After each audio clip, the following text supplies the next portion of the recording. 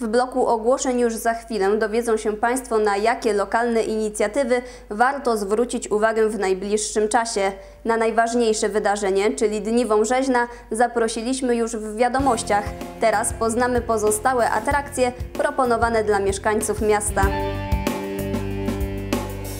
Przypominamy, że Stowarzyszenie Inicjatywa ogłosiło dwa konkursy promujące markę Wąbrzeźno Przyjazne Wody plastyczny oraz fotograficzno-plastyczny. Więcej informacji znajdą Państwo na stronie www.inicjatywa-wabrzezno.pl. Wystawa prac oraz rozdanie nagród odbędzie się w trzecią niedzielę w Wąbrzeźnie, organizowaną 7 sierpnia. Dwutygodniowa przerwa na pływalni miejskiej zakończona. Wszystkich miłośników pływania zapraszamy więc do korzystania z odświeżonej pływalni miejskiej w Wąbrzeźnie.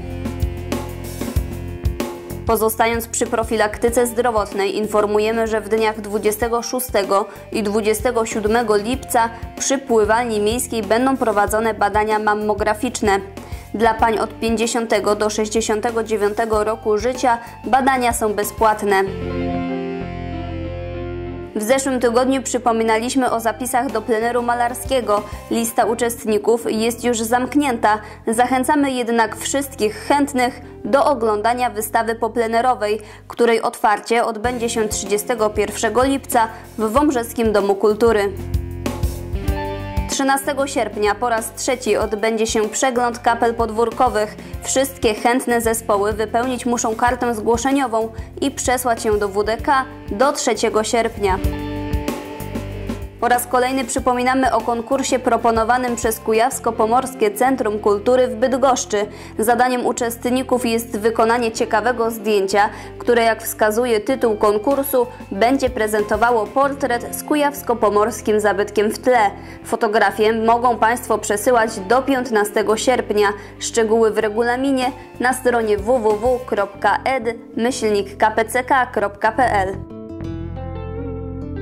Przy okazji robienia zdjęć do tego konkursu mogą Państwo od razu sfotografować zabytki architektury, uroki przyrody lub inne atrakcje związane z naszym województwem w celu wzięcia udziału w konkursie pod nazwą Wakacyjne Uroki Województwa Kujawsko-Pomorskiego. Konkurs ma na celu prezentację terenów atrakcyjnych turystycznie oraz uchwycenie w kadrze miejsc godnych polecenia na wakacyjne wyprawy. Pracę należy dostarczyć na adres organizatora, to jest Wąbrzeskiego Domu Kultury w terminie do 26 sierpnia.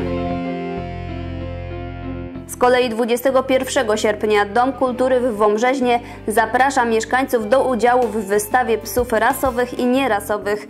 Ta impreza w ubiegłym roku została zorganizowana po raz pierwszy. Zainteresowanie mieszkańców było tak wysokie, że placówka wyszła z drugą edycją, która odbędzie się 21 sierpnia o godzinie 10 w Parku Wąbrzeskiego Domu Kultury.